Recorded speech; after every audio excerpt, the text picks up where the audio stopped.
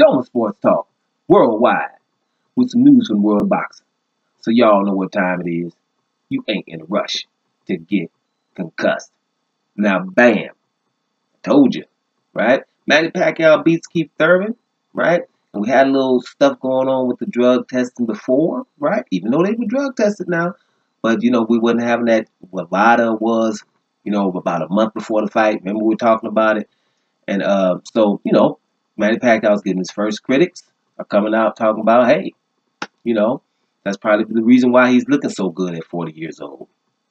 See, that's what happens when you just, just don't do that, you know, year-round VADA testing thing that we are having before all the fights. You know, this one is a little bit different. I don't want to get into it. Didn't even look into it again. But back then, I was like, why have that shadow over the fight? There could be something, if you know, because even Keith Thurman was like, I don't care what he's taking, don't matter, this and that. Well, it comes back to haunt you. Some of the critics are saying, you know, that it's because of uh, the doping, right? Or insinuating it. I hear it's going down on Twitter and, and stuff like that. You know, y'all know I don't roll on Twitter and Instagram and all that stuff. But I'm just saying, I know that it exists and I know what's that's going down, and then people are saying some things. Now I'm hearing about it, right? Um, but we gotta leave it alone. It is what it is. If if that's if that's the case or not. Now I'm saying, you know, some people like a Teddy, Teddy Atlas, for example, right? And Teddy Atlas, you know, Teddy Atlas came out straight up. He said, hey, man, you know, some people look, you know, like a good car. This dude looking like a Ferrari at 40, right? He said you can you can look good, but what kind of gas you using? you know what I'm saying? What kind of fuel are you using? So he come out pretty direct in his opinion about what can happen. And I know you know, when you say something special about Pacquiao, or, you know, sometimes, you know, these, you know, people get behind their fighters so much. You say something like that, you know, people going to be upset. Hey, Freddie, uh, not Freddie Roach, but uh, your boy Teddy Atlas might have something against Pacquiao, right? Freddie Roach, you agree with him or disagree with him, but you know you probably can't really never say that it's not coming from a good place with this man. You know, he goes off on a, a few things. He says that he's just been going off about, for example, Canelo's franchise belt right? That they gave him a belt. He told you straight up, it's, it's just that people are working together and paying each other, and they gave him the franchise belt till he don't have to fight Charlo. Simple as that. You know, he'll tell you some stuff, whether you agree with him or not, right? He said things before. Now, I've, I've heard of a video, I didn't get a chance to watch it, but you going in on the WBC about not giving Dillian Whyte a shot by now, right? Now, I hadn't looked at the video, so I don't know, but when you talk about Dillian Whyte getting a shot with WBC, you're going to have to mention Luis Ortiz if, if I'm around. Right? If you can't get around Luis Ortiz, then we can talk further. Right? But that's the thing. But the guy comes out, and you know when you start speaking against the establishment, you'll have problems with keeping your job. and he does because he's just he's going to tell you what it is, and he doesn't. He loves his boxing sport and doesn't like the corruption in it. He calls for an arbitrary company or organization to look oversee the thing. He's been calling for it for forever, right? So this is not new for Teddy Atlas to be uh, putting up those question marks when it's time to put up question marks. He does it all the time. Another one would be Paulie Malignaggi, who's been saying things all the time. Paulie Malignaggi better can get a job. He always, you know, because he's going to say what time it is. Sometimes, you know, people will think, oh, it's bad, you know, but he's speaking, it's coming from a good, um, a good place. You know, when you disagree and it's coming from a good place, then it's coming from a good place, right? And that and that that's you can disagree. Just when it starts getting tribal and starts you having bad reasons why you're you're following somebody, that's when it becomes a problem. You know, and I got to give props to my brothers, man, about the Pacquiao Thurman fight. You know, a lot of shoot, most of my favorite uploaders straight up, you know, hey Pacquiao won the fight. And even though I disagree with him, I know it's coming from a good place. Ain't no brothers, you know, like, hey, you know, we're going for Thurman because he's black. You know, brothers don't do that. They they watching, fighting, and whatever is it is whatever, right? When something goes down that's incorrect or unjust, then you call that out. That's what it is. A lot of people think Theo Pacquiao won the fight. I think Keith, Thurman won it with the knockdown by one point. Explain to you why in my last vid, right? It is what it is. I just, you know, but it was close, close fight. But I think, you know, like I said before, he had landed more punches. He landed more power punches, and his percentage of punches landed were higher was higher. What else you got to do? Well, hmm, the bottom line is, ain't nobody screaming when you're hitting the guy. But we have to go back to that. Ain't nobody screaming when you're hitting. That's why they didn't register it. Right? And I keep saying, you know, judges have to be there. Earmuffs can't hear nothing. Period. That's how it should be. But whatever. You don't want to get into it because the fight was so close that, you know, either way, you know, it's not a big deal.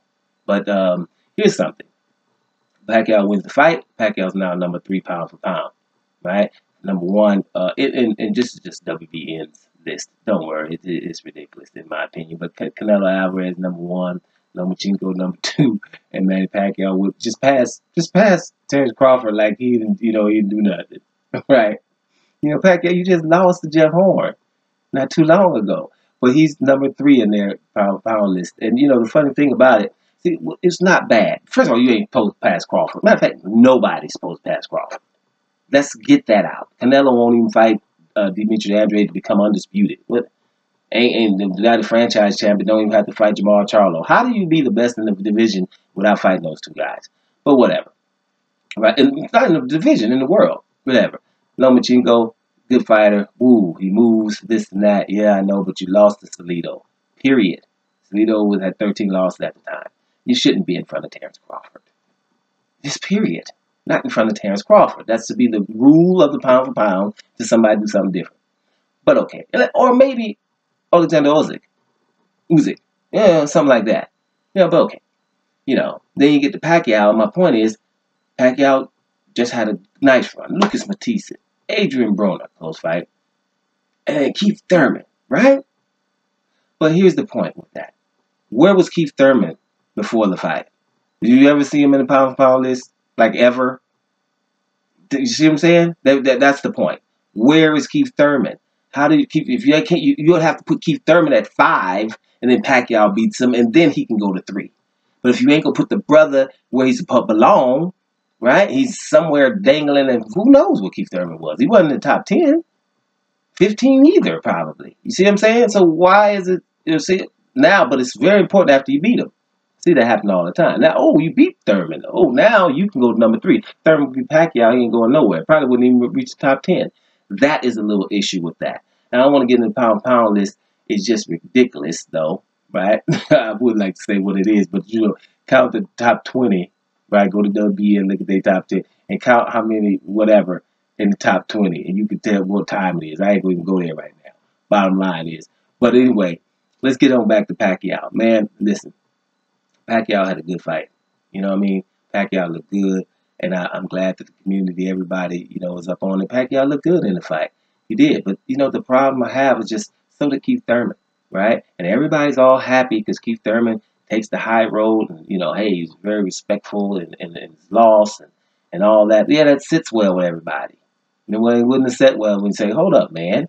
You know, shoot, man, I pointed too. I scored too. We both lumped up in here. You know what I mean?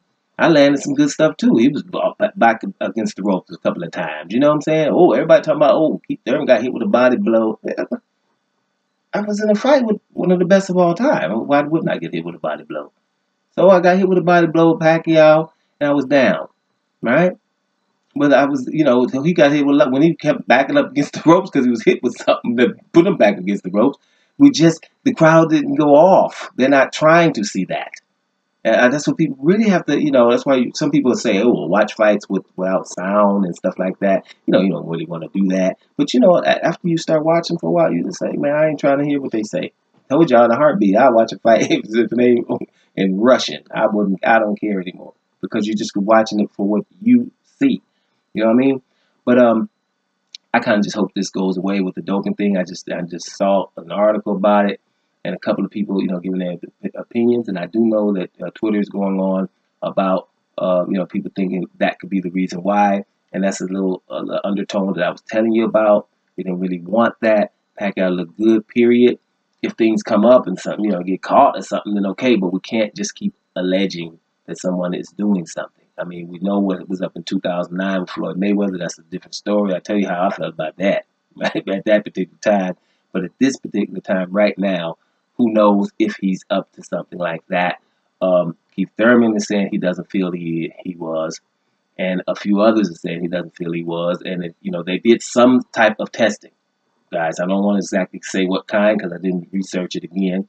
What I'm just saying is they've done some type of testing before the before the fight, and I think everybody involved was okay with it. So damn it, he wasn't dope for the fight, and he looked good. Forty year old dude handling his business against Keith Thurman until otherwise, right?